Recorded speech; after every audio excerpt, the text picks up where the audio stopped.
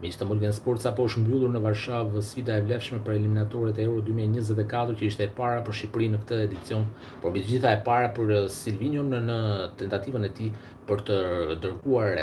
skuadrën kuqezi në Euro dy mijë e njëzet e katër. Fatkeqësisht e nisi këtë rrugëtim të tij braziliani me një humbje, një humbje minimale një me zero, por që në fakt ishte e pamerituar për atë që dhanë kuqezinjtë në fushën e lojës. Ishte një lojë në fakt më superiore se sa mund të pritej për më tepër përballë një kundërshtari që është Polonia, që konsiderohet si skuadra më e fortë e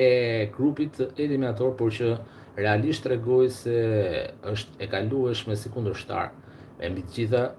konfirmoi se nuk është më ajo e vitit 2021 që na kishte mundur 4-1 në Varshavë. Nga ana e tyre, kuqezit dhanë sinjale pra pozitive, pavarësisht humbjes, ndonëse mund të kishin marrë një rezultat pozitiv me pak kujdes nëse do të kishin realizuar në të paktën tre raste që kishin të tepër të pastra, mbi të gjitha me Uzunin në minutat e fundit që thjesht duhet të devijonte drejt portës atë top por që fatkeqësisht e dërgoi jashtë. Megjithatë,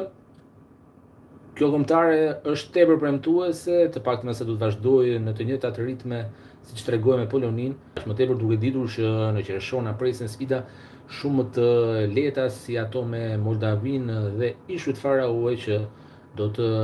na shërbejnë pra për të rritur akoma më shumë besimin dhe për të fituar atë ndoshta kolektivitetin që Në një farë mënyre pati disa momente ku ndaj Polonisë nuk u shfaq ashtu siç duhet. Nëse ju pëlqeu kjo video bëni like dhe subscribe.